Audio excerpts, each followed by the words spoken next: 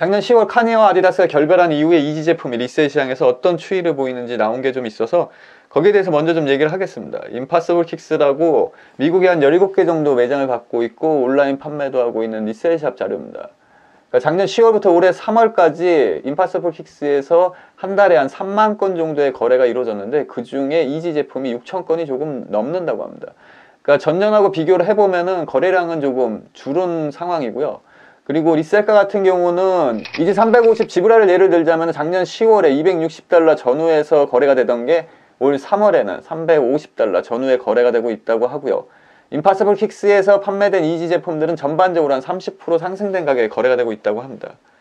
이건 StockX에서도 비슷한 얘기를 하고 있거든요. StockX에서는 뭐 정확한 수치는 얘기하고 있지 않지만 추세를 얘기할 때 Yeezy 제품들은 분명 가격이 상승됐고 그리고 판매량은 줄었다고 얘기를 합니다. 이게 sneaker scene에서 수요하고 공급이 맞지 않을 때 인기 있는 제품들이 보이는 전형적인 추세입니다. 아디다스와 칸예가 결별한 이후에 Yeezy 제품 디자인 권한은 아디다스가 갖고 있다고 분명히 밝혔고요. 그래서 아디다스는 Yeezy 제품을 판매할 뜻이 있음을 언급했습니다. 그래서 초기에는 Yeezy 제품 그 이름을 바꿔서 다시 발매하는 게 아니냐는 루머가 상당히 많았는데 그거는 현 시점에서는 이제 거의 불가능해졌습니다. 초기에는 이제 아디다스 Yeezy 제품의 재고를 아디다스가 얼마나 갖고 있는지에 대한 정보가 전혀 없었는데 올 초에 아디다스 CEO가 공식석상에서 올해 Yeezy를 판매하지 않을 시 아디다스가 한 12억 유로 정도의 손실을 볼 거라고 얘기를 했거든요. 그게 전부 이제 Yeezy 제품이라는 건 아니고요. 거기에는 뭐 이 제품을 판매했을 시에 발생하는 수익금이나 만약에 판매하지 못했을 시에 발생하는 뭐 보관료라든가 뭐 부가적인 비용이 모두 포함된 거기 때문에 실제적으로는 한 5억 유로 상당의 이지 제품을 아디다스가 현재 갖고 있는 걸로 알려져 있습니다. 어, 그 제품들을 모두 이름을 다시 한다는 거는 현실적으로 불가능해 보이고요. 그리고 뭐 설비도 다시 해야 되는 거니까. 이제는 완전히 그 현실성이 없어졌습니다. 이름을 다시 한다는 거는. 그리고 이 이지라는 제품의 가치는 이지라는 이름에 있기 때문에 어, 이름을 바꿔서 판매했을 시에 아디다스가 뭐 얻을 수 있는 이익이 크지 않다고 보여집니다. 그리고 나왔던 루머 하나가 이제 기부하는 형식인데 이거 역시도 불가능합니다. 이 신발 같은 경우는 그냥 현금이거든요. 그러니까 이게 기부품으로 갔을 때 그 사람들이 신는다는 100% 보장이 없습니다. 거의 다 리셀 시장으로 다시 흘러 들어갈 거라는 게 뭐 전반적인 의견이기 때문에 기부품으로 기부한다는 거는 그거 역시도 현실적으로 불가능합니다.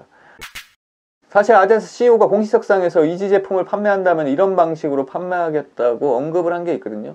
먼저 그 공식석상에서 얘기한 것 중에 좀 흥미로운 거는 이지 제품 구매와 관련해서 500건 넘는 문의가 있었다고 합니다. 그러니까 뭐 액수도 액수지만은 뭐 비난까지도 감수하겠다는 건데 뭐 여전히 이지 제품은 스니커 scene에서 그러니까 resell 시장에서 영향력이 있는 건 분명한 것 같습니다.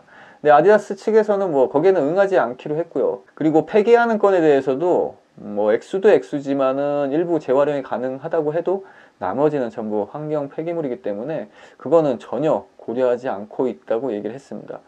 뭐 결론적으로는 무조건 판매를 하겠다는 건데 아디다스 CEO가 얘기하는 판매 방식, 그러니까 만약에 판매를 한다면은 어, 가격을 좀 낮춰서 판매를 하고 그리고 수익금 중 일부를 이번 그 카니의 발언으로 피해를 본 곳에 기부를 하겠다는 겁니다.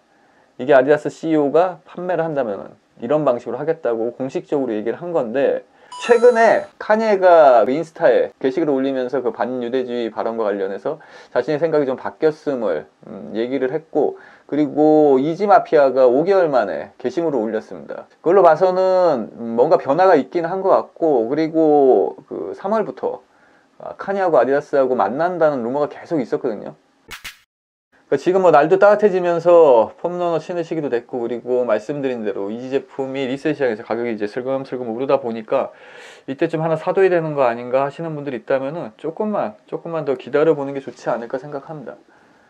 아디다스 CEO가 공식석상에서 뭐 폐기 안 한다고 얘기했고요. 그리고 물건으로 기부하는 일 없을 거라고 얘기를 했고, 그리고 이름 바꾸는 거는 이제 현실적으로 가장 불가능하다고 말씀드렸다시피 뭐 돈 들어가고요. 설비해야 되니까 돈 들어가는 거고, 그리고 이름 바꾼 이후에 평가가 좋지 않다면 아디다스는 뭐 여러모로 타격을 받게 될 겁니다.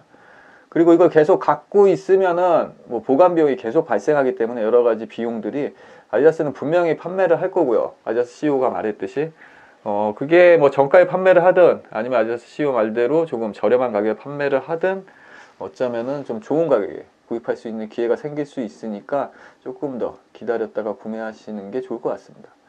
그럼 저는 더 좋은 영상, 더 좋은 리뷰로 찾아뵐 거니까요. 구독 안 하신 분들은 구독 부탁드리고요. 좋아요도 부탁드립니다.